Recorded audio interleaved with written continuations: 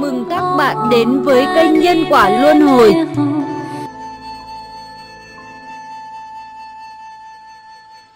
Lời người dịch.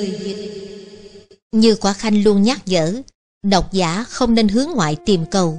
Buông ba đi tìm gặp Ngài Diệu Pháp và ông cho bằng được, Mà hãy nên thực hành những điều Hòa Thượng Diệu Pháp dạy Sẽ hữu ích hơn.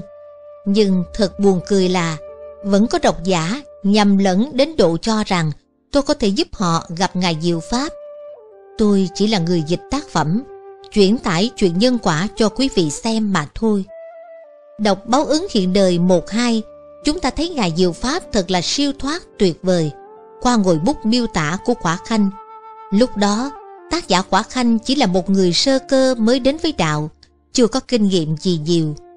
Đến thời điểm này, thông qua các tác phẩm đã đọc, tôi biết rằng cư sĩ Quả Khanh sau khi thọ giáo với Hòa Thượng Diệu Pháp rồi, dù tu tại gia, nhưng ông hành trì Phật Pháp rất cẩn mật, đã có được nhiều những kinh nghiệm tâm linh rất sâu và lực cảm hóa người cực mạnh. Đến nỗi, nhiều người chỉ cần một lần gặp ông thôi đã quyết tâm dứt ác hành thiền, nghiêm trì giới Phật, nguyện ăn chay vĩnh viễn.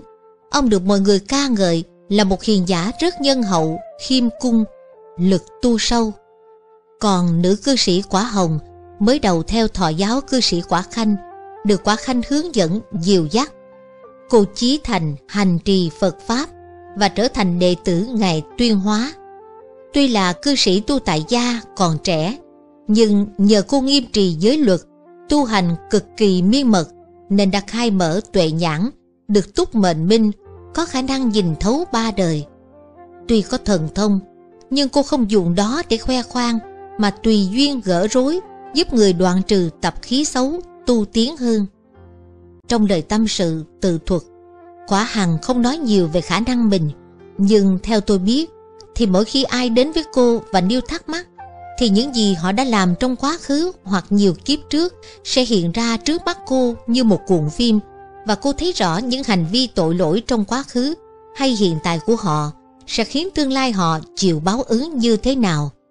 Thậm chí, có những lỗi cần khắc phục ngay để hoàn thiện viên mãn hơn, nhưng đương sự không biết, không nhận ra, thì cô sẽ chỉ cho họ sửa. Do vậy mà những lời chỉ bảo của cô thường trang nghiêm, thẳng thắn, dứt khoát. Cô không hề nói lấy lòng, mà nhằm chỉ ra điều sai để đương sự tự sửa. Trong khi quả khanh cũng có khả năng nhìn thấu quá khứ, nhưng cung cách xây dựng của ông dịu dàng hơn. Khả năng quả hồng tuy mạnh và vượt hơn quả khanh, nhưng cô cực kỳ kính trọng quả khanh và luôn làm theo sự chỉ đạo của ông. Đôi khi phải do chính quả khanh cổ vũ, khuyến khích, cô mới chịu nói ra sự thật. Nếu bạn đọc thắc mắc tại sao quả hồng là nữ cư sĩ mà sớm có khả năng thần thông, thì có thể nói điều này tùy thuộc lực tu sâu cạn tùy thuộc giới định huệ của mỗi cá nhân. Ngài Tuyên Hóa từng nói, thần thông ai cũng có, tâm tịnh thì diệu dụng tự hiện. Nhưng thần thông sẽ trở nên nguy hiểm cho người sở hữu nó nếu lòng họ còn ngã chấp, tham sân si. Vì họ sẽ sử dụng nó vào việc hưởng lợi cho cái ngã. Vì vậy, rất dễ lạc tà. Thần thông cao nhất mà Phật ca ngợi chính là lậu tận thông sạch hết phiền não. Cho nên, thay vì mong cầu thần thông, chúng ta nên tu sửa cho tâm thanh tịnh. Hồ tâm trong thì muôn pháp tự hiện, dự dụng phát huy. Trong kinh Địa Tạng phẩm thứ nhất, Thánh nữ được Đức Giác Hoa định từ tại Vương Như Lai khuyên Chí Thành niệm danh Ngài sẽ biết được chỗ của mẹ thác sinh. Cô làm y như vậy suốt một ngày một đêm thì bỗng thấy thân bình xuống cõi địa ngục. Đây là cô đến địa ngục thông qua định lực Còn nàng quan mục ở cuối phẩm thứ nhất của Kinh Địa Tạng Nửa đêm nhìn thấy Phật Là thông qua mộng Chứ không phải do định lực. Như vậy khả năng nhìn thấu ba đời của quả hồng Thuộc về định lực. Đức Phật từng nói Ngài và chư Phật thường hóa hiện trăm ngàn ước thân dưới mọi hình thức trời, người, rồng, tỳ kheo, tỳ kheo ni, cư sĩ nam, cư sĩ nữ, thậm chí còn biến làm cây cỏ núi sông vân vân để tùy duyên dẫn dắt chúng sinh vào đạo. Dù quả khanh quả hồng chỉ là những cư sĩ, song sự độ sinh của họ rất đáng cho chúng ta kính phục vì họ có thể giúp người chuyển hóa mạnh mẽ, tu sửa cực kỳ tốt.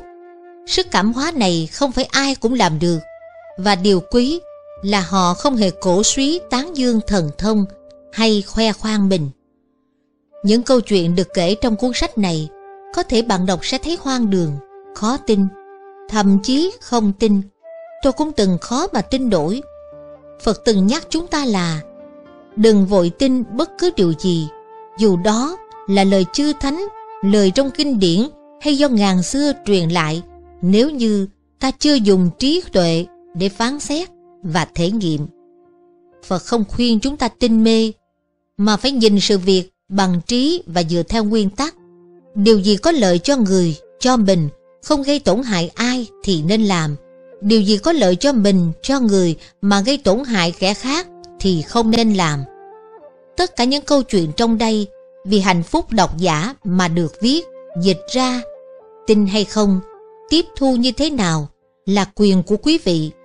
Khi đi đường, nếu không rành luật giao thông, không tuân hành đúng luật thì chúng ta sẽ bị tai nạn xe. Trong quốc gia, nếu không biết luật pháp và làm sai quốc pháp, chúng ta dễ bị phạt hay lâm cảnh tù tội. Trong kiếp người, nếu không hiểu, không am tường luật nhân quả, chúng ta sẽ vô tình phạm lỗi, sống sai lầm và rơi vào ba nẻo ác. Điều đáng lưu tâm là những ai là đệ tử Phật nếu chân chính hành trì Pháp Phật thì sẽ không bao giờ nói dối. Cho nên, những câu chuyện kể trong đây mức độ chân thật luôn đáng tôn trọng, đáng tin. Vì uy luật bất vọng ngữ của người Phật tử. Hơn nữa, nội dung trong đây có nhiều bài học quý, rất đáng cho chúng ta suy gẫm. Vì tu sĩ đã biết Phật Pháp, hiểu luật nhân quả, biết ăn chay tu hành.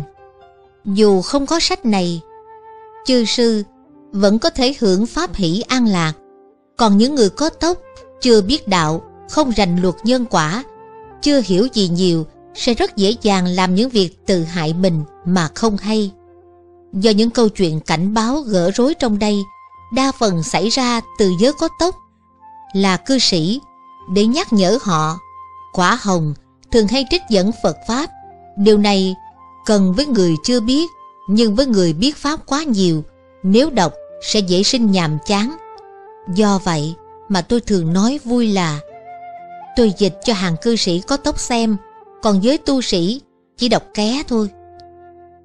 Lưu ý, từ ngữ học Phật các tác giả hay dùng trong sách không đơn thuần là học giáo lý, nghiên cứu Pháp mà bao gồm sự thực hành, tập tu, ăn chay, trì kinh, noi theo gương Phật, tập hành hành Phật, phát tâm rộng lớn, làm lợi ích chúng sinh.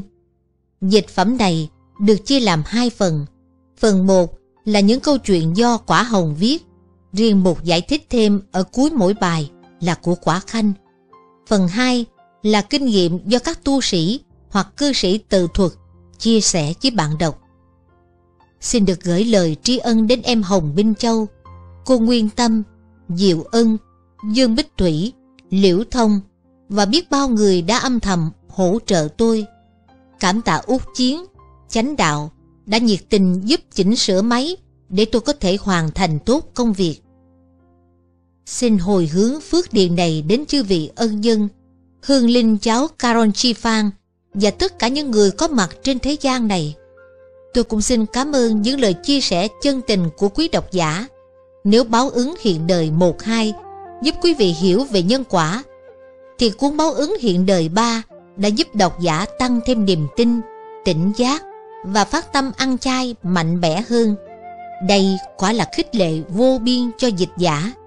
Cầu chúc quý vị luôn an lạc hạnh phúc, trí tuệ và lòng từ luôn tỏa sáng để cùng xây dựng nên một cõi nhân gian u mỹ. Cuối cùng, xin hãy tha thứ cho những sai sót của người dịch. Hạnh đoan 29 tháng 3 năm 2013